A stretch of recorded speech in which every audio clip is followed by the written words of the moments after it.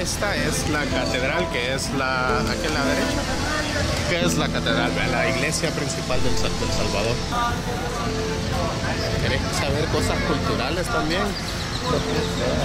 Todo, todo, todo. Te digo porque también está la gruta, pero no sé. ¿Qué es la gruta? La gruta es eh, como un mausoleo donde está el beato Arnulfo Romero, dándole obviamente el toque moderno, porque antes no era así, antes era un edificio así, completamente viejo, y ahora ya lo hicieron full, full,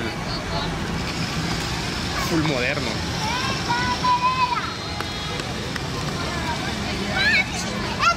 La ayuda de los chinos.